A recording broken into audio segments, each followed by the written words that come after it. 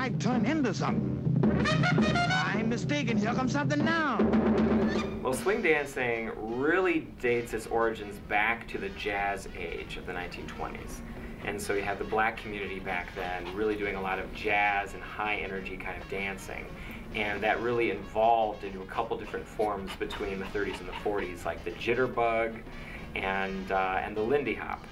And uh, the Lindy Hop gets its name from Charles Lindbergh, who had just crossed the Atlantic. And when a reporter was asked, "What are they doing down there? What kind of dance style is that?" he looked at the newspaper heading and he was like, "Well, it's it's the Lindy Hop."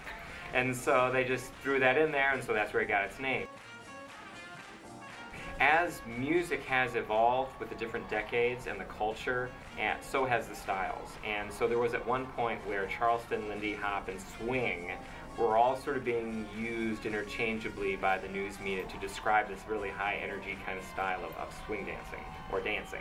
And, um, and so over time things have evolved and changed and every sort of generation and decade has had its own sort of focus or, or you know popularity with a particular style and whatnot based on the music and the you know the culture of the time.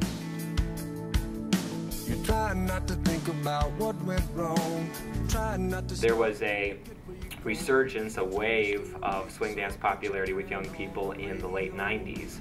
Um, and so we are sort of right now in the second wave of, uh, of swing revival. And uh, which is really nice because over the course of history, with the different st styles of dance and whatnot, um, and the evolution of music and, and popularity of different things, uh, we now have a lot of different options of sort of distinct styles of swing dancing. There's East Coast, there's West Coast, there's Lindy.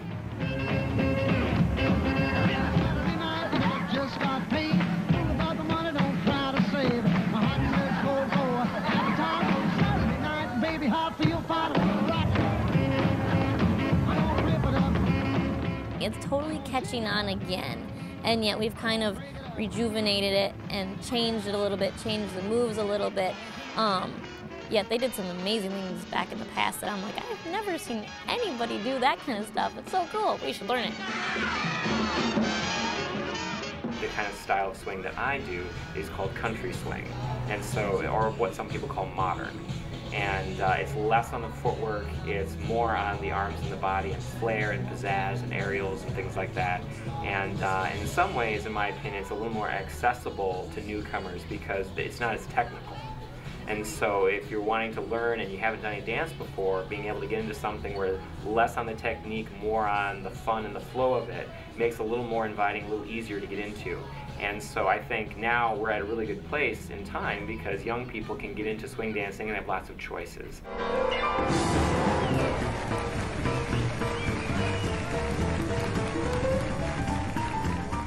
When I first heard about swing, I was like, swing dancing? Who swing dances? Is this a bunch of like adults, you know, like swing dancing to this old music or whatever? Very exciting um, to see how this is exploding and how we can swing dance. We can go to a dance, which back in my high school days, going to a dance wasn't a good thing. It was like, uh, no, no, no, that's not what we do, you know. Um, but swing nowadays is like we've totally taken it and changed it and you could just go and have a good time and walk away and feel so good about yourself. And that's just one thing I have I love is that it gives kids a different option.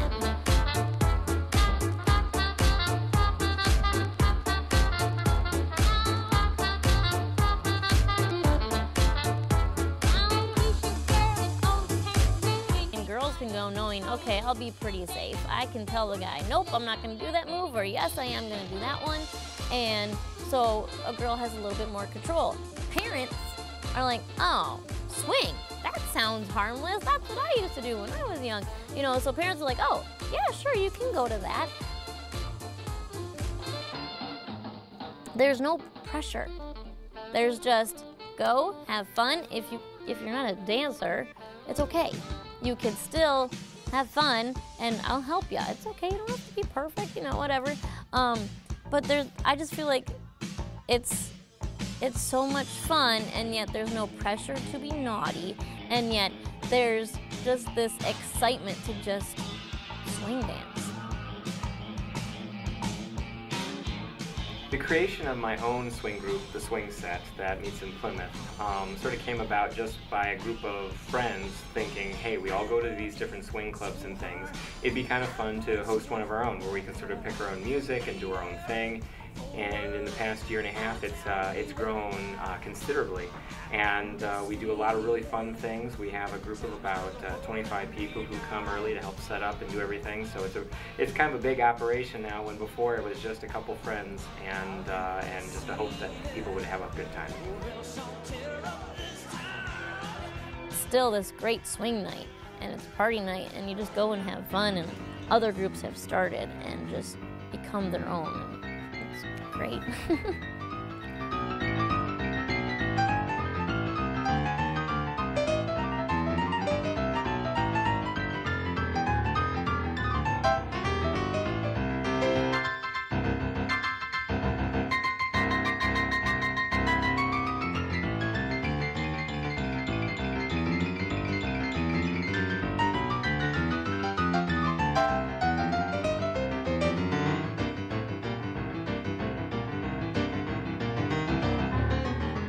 Originally, I was dragged to swing dancing by my ballerina sister.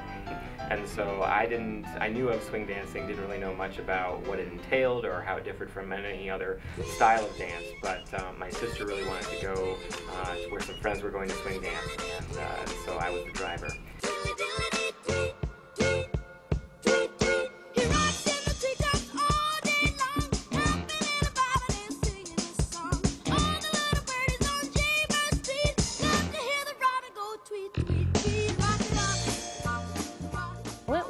Was like, eh, that doesn't look very interesting.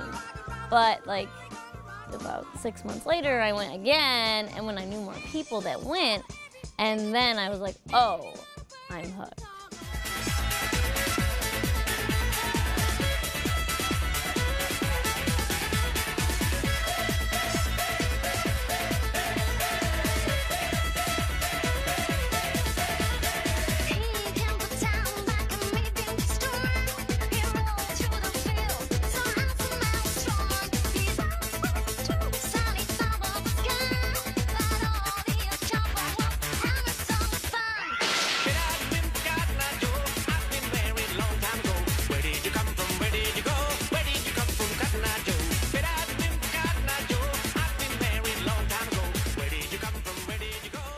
Swing dancing started more purely as um, a form of recreation, a place to meet people, a place to exercise, have fun, learn something new. Um, but it's become much more important to me than just sort of those types of things, which are important on their own.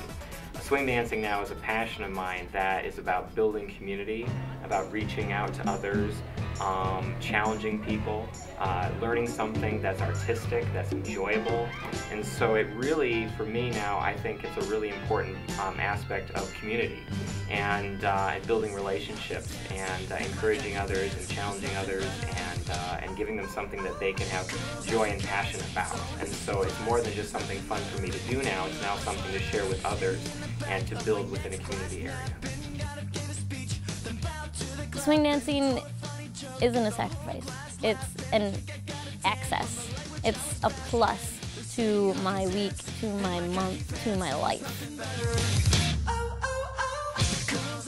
My exercise routine, it's my social event that happens all the time, and it's really created uh, connections with a lot of different people that are important to me now.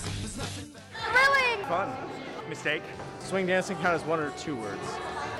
Fun. It's, it's exhilarating. Everybody else is saying fun, so um, exhilarating. They did? Oh, come on. It's everything.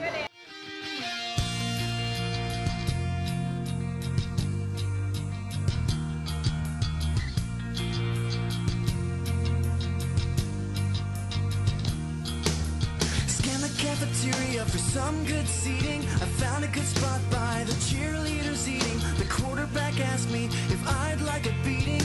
That's one thing I want.